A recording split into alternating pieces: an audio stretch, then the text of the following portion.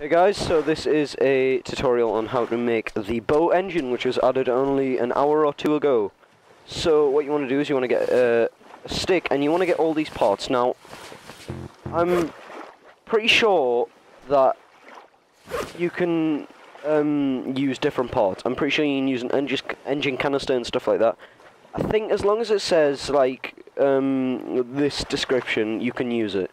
So let's just go ahead and do this. So you want a propeller, stick, um, a fuel tank, an actual engine itself, some duct tape, which can be found in um, like shipwrecks like that on in hard cases, and finally you want the carburetor. So what you want to do is do that, and then you want to make a boat motor, but it doesn't actually go on this. It goes on another raft, and I haven't tried making it yet.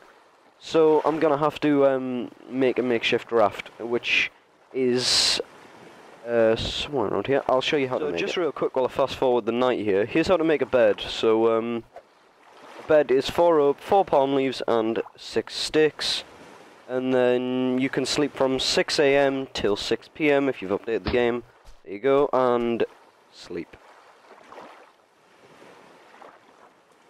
Right, so to make a, a, normal raft, if you haven't got your life raft ETC, what you want to do is you want to get 8 sticks, get a hammer, it will say foundation, but you want to do that, and then put it on water, and it will turn into a raft. There you are. Oh shit. Uh, they're a bit weird, but let me just put this over here. There we go. Alright then, so here's that, and then here's all the parts for this. So, um, let's see. So if we left click and then we go boat motor, there we are. Uh, if you can see, there we go, it worked, yeah, there you go. Right, so it'll work there, but I'm pretty sure you can't put them on these. I don't think you can.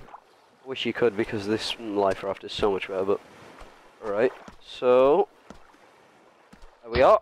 There we go, boat motor. Now, I've never done this before, so... Oh my god. So, it's really loud, but um, what you want to do is you just want to click once, click once, and then just walk in the direction you want to go, I guess. Yep. Oh, no, you just hold forward. Okay. So what you do is you just hold forwards. It's alright then, I'm gonna go back, because that's a great white shark. Uh, uh-oh.